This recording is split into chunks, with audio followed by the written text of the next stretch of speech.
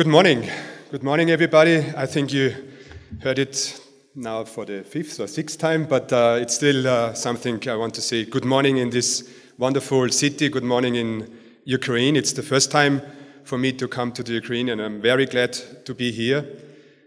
Um, and I'm very, I'm very glad to learn that uh, there are there's still life beside the pictures we get all the time from Maidan Place, and there is a wonderful life. And first, and before everything else, I want to wish all the best to Ukraine, and I want to wish all the best to the people of the Ukraine to, uh, to, to make the best out of the situation.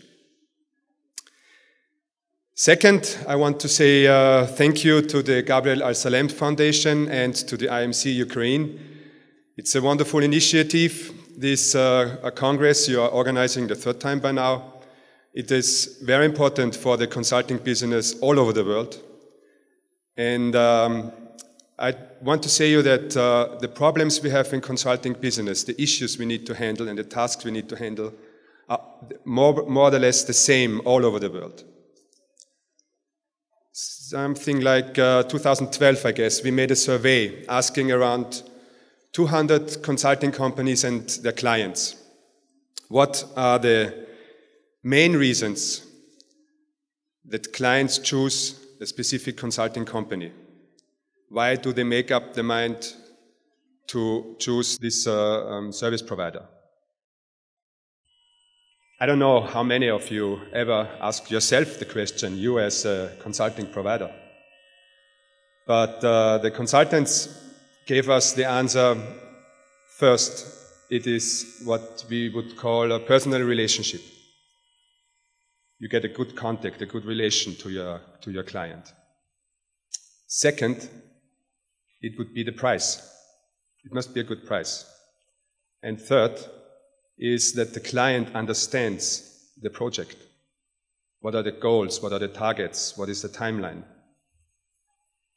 And then we ask the client, why do you choose a specific consulting company? It should be more or less the same. But it isn't.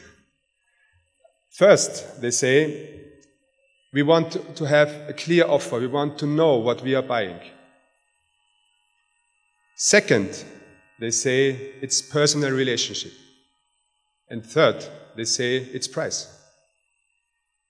So what do we learn out of this? We as consultants do an excellent job all the time but for us as consultants, it is regular business to make a regular good job. We need to inform our clients, we need to address our clients that we are doing this all the day, all the time. And this is why ICMCI has a couple of initiatives, and Francesco mentioned them, to inform our clients. Consulting business is a service-based, uh, as a knowledge-based service, is something where you can make up quality assurance as you can make up quality assurance when you buy a table. When you buy a table, you see it's the same size, the same color, do you like it? But when you buy a knowledge-based service, how do you measure quality? And you can, and you can do it very easily. And this is why we have uh, in the ICMCI our initiatives. You mentioned CMC. Most of you, I hope everybody of you, is a CMC. We have the initiatives in, the, in setting up standards on European level now, starting on the ISO negotiations. And third, with uh, the Constantinus International. An award, like Gabriel Al Salem Foundation makes an award, is always a good media, a good medium to address the market and state to the market, we can make a good project and we want you as the market, we want you as the clients to understand our business only mature professionalists, but also mature clients can have a good project. And this is why I want to say thank you, Gabriel Al Salem Foundation. I want to thank you, Victoria, and uh, the IMC Ukraine. Where's Elena? She's doing some, ah, over there. I want to thank you to organize this conference, and I wish you all the best for, the, for, the, for today. Thank you.